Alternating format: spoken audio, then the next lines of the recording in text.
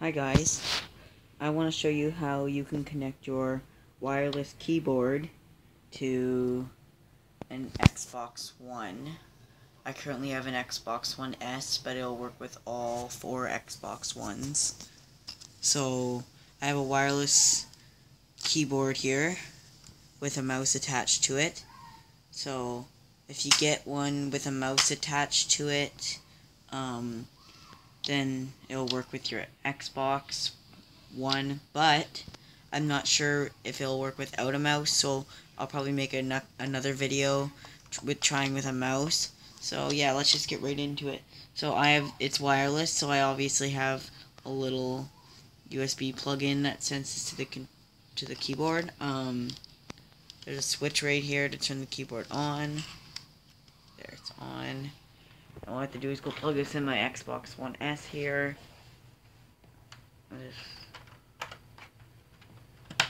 Okay.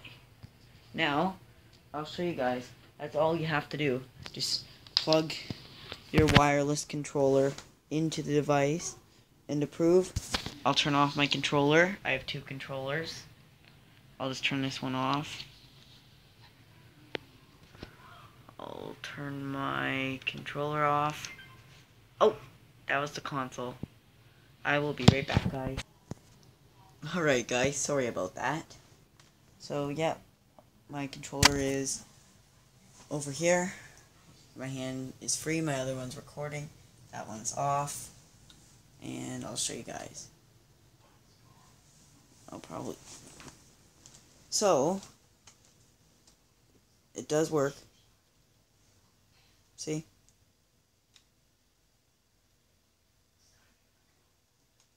The mouse does not, but it will work in Minecraft, I know that.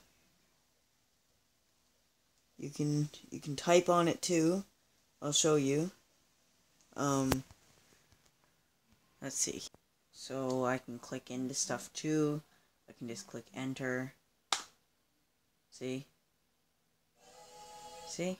And I think that was just an advertisement. Um, I'll show you, you can also type with it. I'll just type with it. Old Town Town Road. And of course it pops up. My controller's still over there. Thanks for watching guys. I hope that um that helped you